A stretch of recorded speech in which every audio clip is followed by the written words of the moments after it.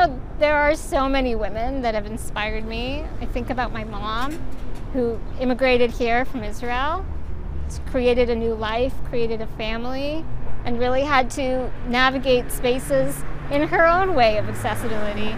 The English as a second language. It's International Women's Day, a day to recognize women who have paved the way for others.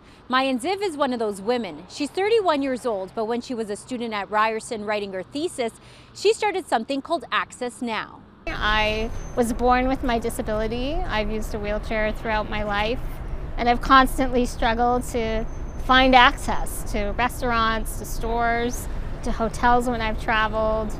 I'm constantly facing barriers of not knowing what I'm up against when I get there.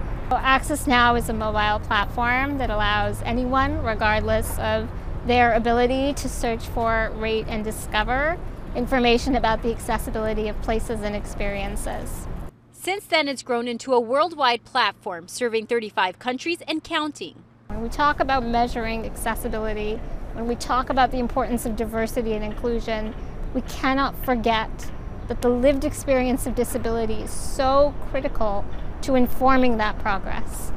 Maayan has become a huge voice in the world of accessibility. She says she found this voice through photography.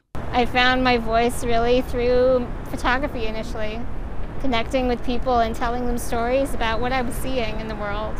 Access Now is available in the App Store and at accessnow.com. For City News, I'm Stella Acquisto.